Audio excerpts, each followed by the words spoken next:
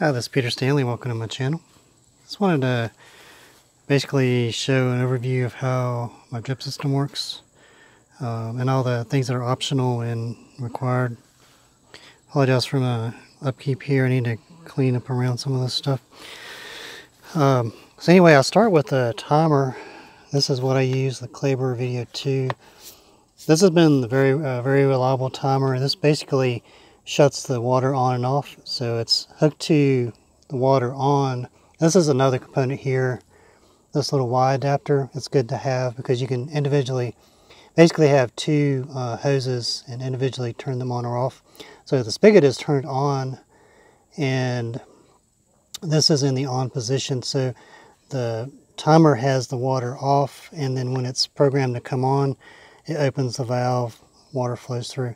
The next component is the backflow preventer, which is this piece here. This keeps water from going back into your uh, water system, water system um, which is a, you have to have this. And this is an inline filter. So there's a filter media in here, catches any, uh, in case there was something in the water, particulates would keep it from get, clogging up your uh, your drip emitters and stuff. And this is a pressure reducer. It gets the pressure down to 25 psi. So it keeps a constant pressure on your system and you really need that. And these, this is a connector. This is uh, the main line, half inch main line. And these, uh, I forget what they're called, but they're basically like compression fittings that this part screws on and then there's a compression fitting that connects the actual line to this connector. So this goes out to the next part that's optional is a fertilizer injector. You don't need to have, you don't really need this. Um, you could use, um, just run water to your plants and then use like a slow release fertilizer like Osmocote or something mixed in. That's what I did the first, uh, first year or two I used it and it works fine. But uh, this gives you a little more control over and gives you a balance because with the slow release you still have to amend with other things. It's kind of a guessing game when you need to re-amend. That's why I like using uh, fertilizer injector. And I use, um, so basically comes into here. Um, and this is an assembly I bought from Nolt's Greenhouse, this bypass assembly, and it's a little bit of redundancy. Um, this has its own pressure regulator and another filter. So I'm basically doing that twice. So I could um, probably take some of my other stuff off since I've got these, but I just leave them on there and any problems. So I can uh, route the water if I want to uh, turn it off and just run just straight water. I can bypass this piece. But with the in, our, uh, in use, it um, feeds from this reservoir. I'm using a concentrate of Dyna-Gro is up, sucks it up into this 1 to 100 injector, injects into the water stream that's coming up through here. And then this goes out to my plants. So I've got a T-fitting here so I can do a row. And then I've got, that goes out to uh, a 90 degree and this is my other row. So these are, um, you know, pull some of these weeds out of here.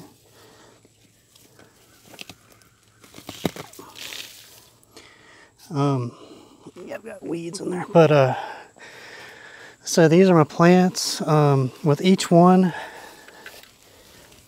every I think 36 inches. Yeah, I've got it spaced 36 inches. There's a quarter inch barbed T, and each side of that goes to another barb tee and then that goes to a uh, half inch drip emitter. So per plant I've got two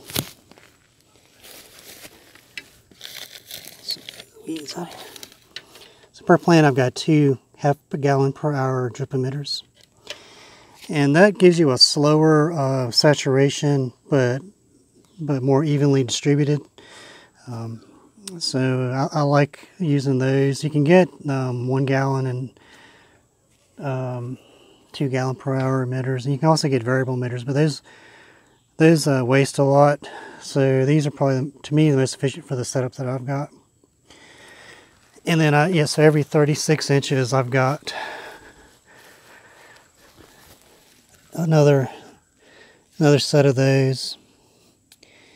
And uh, then I have my timer set to come on uh, twice a day for 10 minutes uh, each time. So 10 minutes in the morning, 10 minutes in the evening. And, and for this setup that works, I'm using some modified hippie containers. Have an overflow and the bottom part is filled up above that hole with perlite, chunky perlite. Then there's uh, just reused potting mix above that. So it keeps a little bit back kind of as a reservoir, but still adds an aeration layer so the roots don't get drowned. And that's worked really well and it's been a big savings on nutrients and water. In this particular setup I can do 36 plants. I've got uh, 18 on each side. So, um, and they're doing very well. And the benefit of, of this is it saves you a lot of time. And but the downside is is a little more upfront cost and there are more points of failure, things that can break. But if you're out here all the time anyway, you're going to notice. Like one time my um, my injector was broken, the ceramic sleeve was broken. I noticed my plants were getting yellow and did a nutrient test on what was coming out of the emitters and it was zero. So, I mean, they, they weren't getting any nutrients. I mean, you have to keep an eye on some things. But this year so far, knock on wood, I haven't had any problems. Plants have been doing great. Lots of nice, lots of nice fruits. Um, there's a Gorpion there. So yeah, so I just wanted to share that. Uh, occasionally people ask me um, about my drip system and I just want to show how I've got my configured. There are a lot of different ways you can do these. And um, one thing I recommend, and I'll put a link in the description, and I'm an affiliate of theirs, but I would recommend them regardless, is uh, Drip Depot. That's where I get all my parts from. And they have uh, pre-configured kits based on the type of drip system you want. So if you kind of browse down, you can configure a system that'll give you a starting place. And, um, and their help support is really good and they respond quickly. They always have with me with uh, suggestions and they can kind of help you build out your system based on what, what you're trying to do. And the prices are really good. Uh, the only thing I didn't get from them was my um, fertilizer injector and this bypass assembly. I got that from Nolt's Greenhouse and Supplies, and they don't have an online shopping cart, but um, they have a PDF, and you find the product and you call them. But their prices are actually very good, and their support's good. So I'll put a link to them as well. But uh, got a good, you know, good price on this. They also have the Mixrite injectors, really good price on those too and those are very good. Um, I believe they may even have the Dosatron, I'm not sure. I know they carry these and the Mixrite. And these, um, they sell a little thing kind of like this too, but I sort of just made my own with a, um, it's basically just a hand truck. And I strapped this bypass assembly to it and um, kind of weighted it down with cinder block. And I'm just using a five gallon bucket. And I'm using a tight fitting lid here. And I put a, a 10 millimeter hole was a perfect hole for this, but I put a little bit of silicone just to seal it to keep rainwater out. And that's worked very well. But anyway, um, so yeah, it's been been a very good system for me, and um, I want to share that. Um, hope you like that. Thank you very much for watching. Please like, comment, and subscribe.